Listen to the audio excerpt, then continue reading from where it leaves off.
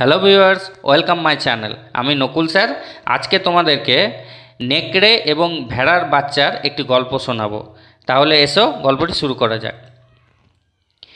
একদিন একটা ছোট ভেড়ার বাচ্চা একটা ঝর্ণার ধারে জল খেতে গেল।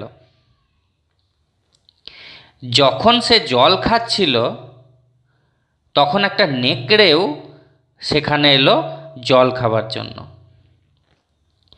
নাদুস নুদুস ভেড়ার বাচ্চাটাকে দেখে নেকড়ে ভাবল, আহ, এই সুন্দর কচি বাচ্চাটার মাংস নিশ্চয় খুব নরম, মিষ্টি আর সুস্বাদু হবে।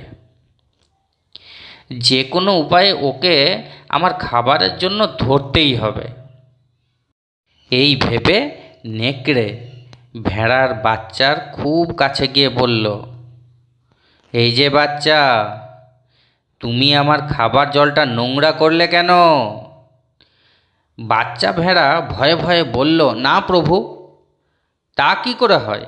জল তো আপনার দিক থেকেই আমার দিকে গড়িয়ে আসছে।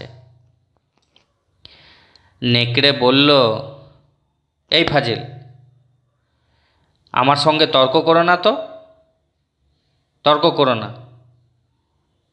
সম্ভবত তুমিই সেই অভদ্র জীব যে গত মাসে আমাকে গালিগালাজ করেছ।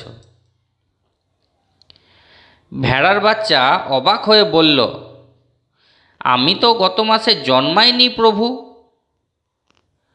নেকড়ে বলল, তাহলে সে নিশ্চয় তোমার মা ছিল, যে আমার সাথে অভদ্র আচরণ করেছিল। এই বলে নেকড়ে ছোট বাচ্চাটার উপরে লাফিয়ে পড়ে তাকে মেরে ফেলল। তাহলে এই গল্পটি থেকে কি উপদেশ পাই আমরা?